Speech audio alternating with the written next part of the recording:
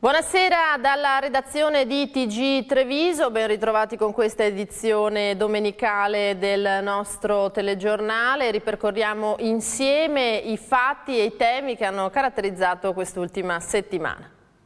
Il sindaco Marco Serena se li è trovati nel suo comune mentre vagavano tra il Palaverde, Carità e Catena. Dopo essere stati abbandonati lungo la 27 una sessantina di immigrati, tutti uomini, tra cui tre minorenni di nazionalità afghana e pakistana, scaricati a Villorba e fatti radunare dal primo cittadino lungo il muro di cinta del vicino cimitero tutti al riparo dalla cocente canicola e dalla rabbia del sindaco che all'oscuro del loro arrivo decide di caricarli in un autobus rimediato all'ultimo minuto. Tensione immortalata dalle nostre telecamere. E guardi per il conducente. No, no, io li porto per... Sindaco dove li porta? Sindaco dove li porta? Io ho ricevuto Signori, per favore, un attimo. Adesso dobbiamo procedere all'identificazione per capire quelli che possono richiedere asilo e quelli che invece dovranno essere espulsi perché non hanno le quali requisiti per poter chiedere asilo. Sono clandestini e per una questione di emergenza sanitaria li porto in prefettura, così serena nel braccio di ferro con i carabinieri. Faccio quello che devo fare, sono l'ufficiale di Stato eh, sanitario e quindi eh, li raccolgo e li consegno a chi di queste persone si deve occupare, cioè il Ministero degli Interni. Con l'autista munito di mascherine e guanti, così come gli agenti della municipale, dopo interminabili minuti di trattativa con il comandante della compagnia dei carabinieri di Treviso, i migranti vengono scaricati davanti al Duomo di fronte alla sede vescovile. E adesso io li riconsegno allo Stato, cioè ai carabinieri, perché è lo Stato che ci deve pensare, le competenze non possono essere quelle comunali. Io agito come ufficiale di Stato di igiene, scusate, di igiene pubblica e quello che devo fare l'ho fatto, però non è possibile pensare di affrontare così un'emergenza come questa. Abbiamo già interessato la prefettura e al termine di identificazione attendiamo disposizioni per trovare una collocazione. Mentre il termometro riprende a salire e le previsioni meteo annunciano per i prossimi giorni massime vicino ai 40 gradi, Farmacie Unite organizza per mercoledì la seconda giornata dell'acqua. Ai pazienti, a cominciare dagli anziani, saranno distribuiti gratuitamente un vademecum, una bottiglietta d'acqua e una bustina di sali minerali. Noi abbiamo pensato che oltre a dare il consiglio professionale di fare una giornata dell'acqua con la collaborazione della San Benedetto che ci ha fornito l'acqua e una brochure dove si indica come si deve comportare nella stagione calda, soprattutto per le persone anziane, ripeto, che hanno bisogno di bere più degli altri ma non hanno lo stimolo a bere. Il nostro obiettivo è quello di eh, promuovere iniziative che favoriscono il consumo eh, di un'alimentazione corretta sul fronte del, del, bere e quindi in questo senso cerchiamo di eh, sostenere un consumo consapevole di acqua minerale soprattutto se associato a determinati problemi o a determinati momenti della, della giornata. Educando i pazienti e dando dei consigli continui e monitorando questi pazienti si migliora la loro qualità della vita. Per cui abbiamo avuto una riduzione per esempio del consumo alcolico e sta prendendo più piede un'alimentazione più sana, più continua, proprio una continuità di educazione. Oltre 250 tra Veneto, Lombardia ed Emilia i punti aderenti a Farmacie Unite. Il consiglio è quello di bere molto, possibilmente almeno due litri di acqua al giorno, questo è fondamentale. Poi stare senz'altro in eh, zone eh, d'ombra, evitare di uscire nei momenti più caldi, mangiare frutta e verdura e quindi e, e però anche muoversi perché è fondamentale il movimento. Le bevande zuccherate possono andare bene, ma eh, bisogna fare in modo che il paziente non sia diabetico. Le bevande leggermente zuccherate possono aiutare. Consigli da tenere bene a mente in vista della nuova ondata di caldo torrido torrido. Non dispero che troveremo il modo per poterlo ricostituire. Certo eh, al momento la, la, eh, si è rotto questo fronte, ecco. con la condotta di ieri si è rotto. Riunione dei sindaci convocata per stilare un documento comune sull'emergenza profughi da inviare al governo, rinviata a data da destinarsi dopo la fuga in avanti del primo cittadino di Villorba Marco Serena che ha preteso di caricare su un pullman la cinquantina di stranieri fatti scendere da un camion in A27 e mandarli a Treviso. Al prefetto aveva detto lì per lì, in realtà alla fine a prendersi la patata bollente sono stati carabinieri e Caritas, neppure la questura è intervenuta. È un fronte di sindaci che cercava di muoversi unito, mi ha colpito il fatto che ci sia stato un atto eh, che sicuramente Marco dice che è stato preordinato nei confronti della prefettura, nei confronti dello Stato, però penso che forse la modalità con la quale eh, questo, questa cosa è stata fatta poteva essere ben diversa. Ecco. Non penso perché se io ravviso che sia un problema nel mio territorio debba spostarlo in un altro. Ecco, io sinceramente non avrei fatto così. Ma... Casugana aveva rifiutato anche la stazione e si attende per le prossime ore che venga sgomberata anche l'ex Treviso Servizi. Ma in giornata erano in arrivo altri 20 profughi e 10-12 ne arriveranno d'ora in poi ogni giorno nella Marca. La prefettura fa sapere che in assenza di un'alternativa non li sposterà dall'ex Treviso Servizi, ma Nildo neanche prende in considerazione questa possibilità e tira dritto. Ho motivi seri per ritenere che cioè, penso che tra istituzioni la collaborazione si, sul, si debba fondare sul, eh, sul, rispetto dei patti che abbiamo preso, non ci sono comunicazioni diverse, quindi sono convinto che i patti verranno rispettati. Sarà la Prefettura che eventualmente troverà delle soluzioni alternative. Ho incontrato l'esplosione, però non so cosa è successo. Esplodo il gas. Ho visto feriti? Guarda. Paure e attimi di terrore nel pomeriggio tra le 16 e le 16.10 al Lancinigo di Villorba in seguito all'esplosione di una bombola di gas attaccata al fornello e posizionata nel patio della villetta della famiglia Borsato in vicolo Matteotti. Il gas, è scoppiato il gas. Nell'esplosione ferite quattro persone, tra cui due vigili della municipale di Villorba di 42 e 47 anni, chiamati dai vicini allertati dalle alte fiamme sprigionatesi prima dell'esplosione. Agenti sbalzati a terra dalla deflagrazione e colpiti dalle schegge al volto, in testa, ai piedi e alle braccia, mentre gli oggetti posizionati poco prima per terra accatastati nel giardino volavano in aria con i frammenti impazziti. Tu guarda, li passava, rischiava avanti e fatti ai femmini, si sono abbassati in tempo. Sì. Ferita anche la 94enne proprietaria della villetta che al momento dell'esplosione stava riposando in camera da letto e la figlia 49enne rimasta ustionata ad un braccio. Quest'ultima con il figlio di 24 anni si erano presi la briga di mettere in ordine la Pompeiana quando la bombola è scoppiata. Saranno ora gli accertamenti tecnici dei pompieri a stabilire le cause. Scampato al pericolo questo cagnolino che è riuscito a mettersi in salvo. Danneggiata parte della facciata esterna della casa della famiglia Borsato, così come anche tre villette vicine che hanno subito la rottura dei vetri delle finestre e danni vari causati dalle schegge volate nei giardini e negli stabili.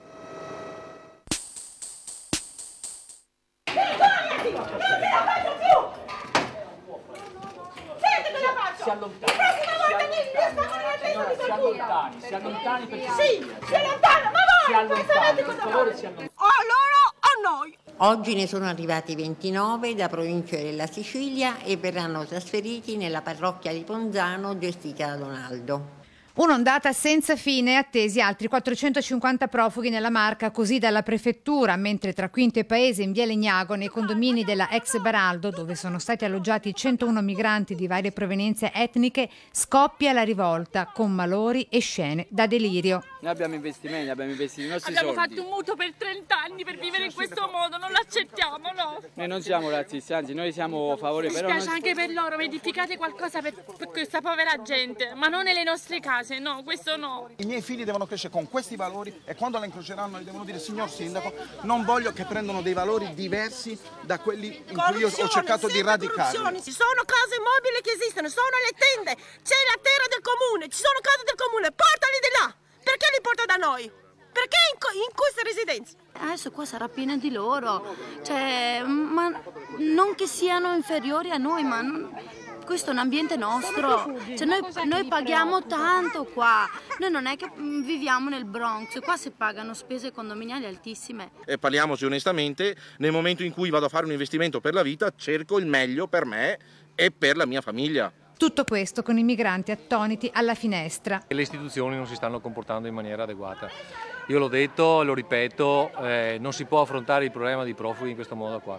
A fronteggiare l'emergenza convivenza con sedie che volano tra profughi e residenti, i carabinieri, con il solito capitano Mazzanti, dopo Villorba con il sindaco Serena, ancora una volta nella veste di mediatore.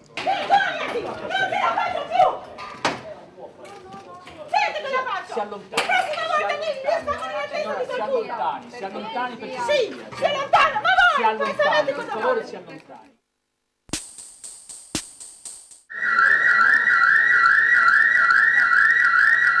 Azione da Far West a Preganziol con l'assalto armato a un furgone portavalori e con uno degli autisti, un 37enne di Villorba, sequestrato e tenuto in ostaggio dal comando di cinque banditi incappucciati e sotto la minaccia delle armi. Eh, nel mentre che uno dei due operatori era sceso per prelevare un, un plico, lì parlando, i malfattori hanno approfittato di quel momento, hanno assalito l'altro che è rimasto solo e quindi l'hanno indotto ad aprire il furgone e hanno prelevato quello che c'era all'interno.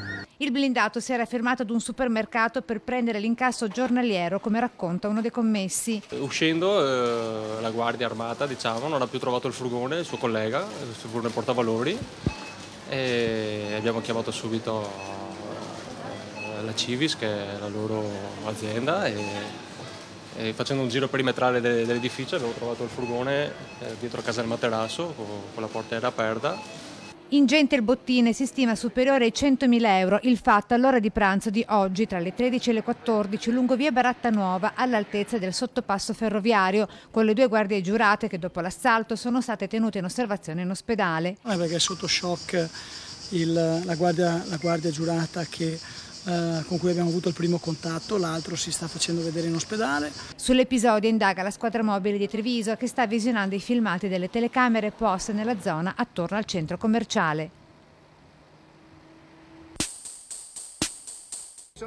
Arriva poco prima delle 11.30 e subito viene circondato dai residenti esasperati dalla situazione. È un governatore deciso e solidale con le famiglie che hanno passato la notte in tenda davanti alle loro abitazioni e da quelle occupate da oltre 100 immigrati chiara la posizione del Veneto nei confronti dello Stato che ha imposto questi arrivi. Ho mandato un'ispezione io ieri sera. E dopo vi mandiamo il report. Vabbè, lei dica quello che ha visto che così sì, sì. sente tutto. Io vedo questo, 23 appartamenti occupati, situazioni, appartamenti in buona salubrità, mi dicono che la luce verrà lasciata entro oggi, però, però questo posso dire, sì, non c'è la luce, c'è l'acqua, la situazione è discretamente buona, il sovraffollamento è è per appartamento, ma ci sono appartamenti che possono essere utilizzati e quindi può essere ridotta la particolare condizione di sovraffollamento di certi appartamenti. Lei scrive quello che ha visto, poi il sindaco deve essere messo nelle condizioni di fare un'ordinanza. Noi non siamo d'accordo per questa roba, qua è una porcheria. Questa è una cosa... Questi rilievi dell'USL per una condizione che lo stesso Presidente ha definito così. Questa roba qua è la più grande vergogna che io ho visto fino adesso, perché neanche Eraclea è arrivata a questi livelli qui, perché comunque Eraclea Già lì è un casino, qui è ancora peggio che ci sono delle famiglie all'interno. Il prefetto sappia che noi cioè, oggi è dichiarazione di guerra da qui al futuro contro il prefetto perché non esiste una roba del genere. La guerra? Anche noi siamo disposti a perdere tutto. Una situazione che inevitabilmente tornerà a Roma. Sempre gradi. Non esiste più. Io voglio vedere la relazione in maniera tale che il sindaco sia messo nelle condizioni di fare un'ordinanza, perché comunque eh, andremo lo scontro. Due, adesso lasciatemi andare dentro, tu trova modo di farmi entrare. Voglio andare a vedere sta, sta gente. Tre, ritorno alla carica del prefetto. Quattro, vado anche da Renzi, vediamo cosa che riusciamo a fare. Un'altra giornata di tensione ai condomini di via Maestri del Lavoro tra Quinto e Paese. Un assedio da parte dei residenti che hanno boicottato ogni azione nei confronti degli immigrati. Il picco massimo verso mezzogiorno, quando sono arrivati i viveri, poi verso le 14.30, quando scortati dalla polizia e dalle forze dell'ordine sono nuovamente arrivati i pasti. Nemmeno tempo di farli entrare dentro il condominio che la reazione sia scatenata, immediata e violenta lo schermo ha fatto prima a casa mia, il mangiare prima a casa mia. Portalo a casa mia prima, che sto morendo di fame. Avete la coscienza, oggi muore la patria. Eh. Non potete fare questo della, della brava gente. Eh. No, non potete farlo. No, non ve lo lasciamo fare. Mi potete uccidere. Mi non ve lo possiamo far fare. Questa è brava gente. Questa è gente che ha diritto a vivere in, in tranquillità. Poi tutti sono stati fatti sgomberare dalla palazzina dove ammassati all'entrata sono rimasti materassi e altro materiale per i profughi, come simbolo di un assedio a quella che per tutti è un'occupazione imposta. Ah, questo è un dovere giuridico, un dovere giuridico.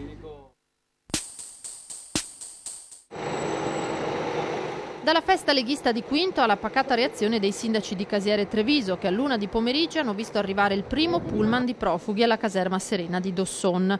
La prima stoccata di Manildo è per Zaia. Io penso che le istituzioni abbiano il dovere di trovare soluzioni e non di eh, amplificare delle situazioni di difficoltà che poi possono avere anche delle situazioni difficili da controllare. Soluzione dignitosa la caserma di via Zermanesa per Manildo, di certo dice molto più delle precedenti. Sicuramente è una soluzione migliore, quella, abbiamo già manifestato le nostre critiche per quella situazione che abbiamo definito quantomeno azzardata, è, la situazione si deve assolutamente normalizzare, ognuno, ogni istituzione deve dare il proprio compito, il proprio contributo per mantenere la tranquillità dei nostri territori e per far sì che un'emergenza umanitaria non diventi un'emergenza di ordine pubblico. Sappiamo che le caserme sono del Ministero della Difesa, non sono nostre, quindi però cosa facciamo? Incrementiamo il disagio facciamo una guerra civile su questo, allora siamo qua proprio per portare calma e tranquillità e far capire che stiamo cercando di, di portare serenità su questa, su questa emergenza, che non è più un'emergenza perché lo sappiamo bene che non è un'emergenza andava gestita in maniera sicuramente diversa. Anche qui il timore è che i residenti della zona si ribellino. Abbiamo incontrato le persone che abitano vicino, abbiamo, eh, ci hanno rappresentato alcuni del, dei loro timori, abbiamo cercato di trovare delle soluzioni insieme, mi pare che la situazione stia sia positiva, stia andando una, verso la soluzione. Di fatto c'è chi la prende con filosofia e chi ha paura. C'è qualche timore? Mm, ma per quanto mi riguarda no, perché non, poi vedo magari la preoccupazione più per chi ha bambini, per chi mm, per le donne più che altro. Chi è che ha coraggio di mandare la figlia fuori? Neanch'io che sono una donna matura non ho coraggio, perché li vedo, li vedo perché si muovono a gruppo. Io non è che ce l'abbia su con loro, è il sistema in cui viene svolto queste cose che non va bene.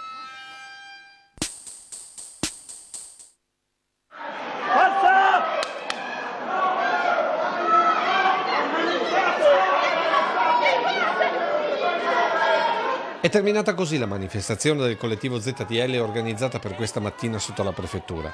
Un'occupazione simbolica dell'androne sgomberato dalle forze dell'ordine alla presenza del questore e del comandante provinciale dei carabinieri. 34 le persone condotte in questura, alcune in manette. Siamo andati davanti alla prefettura questa mattina, circa una sessantina di ragazzi, ragazze, tra cui anche molti studenti, minorenni, eh, per chiedere eh, le dimissioni del prefetto perché eh, per la mala gestione, eh, per non dire altre parole, dell'accoglienza, dell'accoglienza che ormai da troppi mesi, con troppi episodi, eh, si sta dimostrando assolutamente errata, si sta dimostrando anzi spesso e volentieri provocatrice più che eh, risolutrice di problemi. Due momenti di massima tensione. Il primo con i giovani portati fuori a forza da polizia e carabinieri e poi il fermo di ogni singolo individuo condotto anche in manette verso la questura. Arrestando delle persone per essere fermi in piazza! Cosa porti? Cosa porti? Vai via limite di cronaca, è costituzionale! È la prima volta che accade una situazione del genere in Piazza dei Signori. Per i giovani dei centri sociali, sintomo della situazione di difficoltà del prefetto legata al caso profughi. Immagino proprio che siano saltati i nervi il prefetto, perché eh, in questi giorni mi sembra che sia sull'occhio del ciclone, no? Non è in grado di trovare una soluzione, che lasci il posto a qualcun altro. Probabilmente esistono persone molto più competenti che sono in grado di gestire l'accoglienza. È tutto per questa edizione domenicale di TG Treviso, noi torneremo naturalmente domani, vi auguro una buona serata con la nostra programmazione, arrivederci.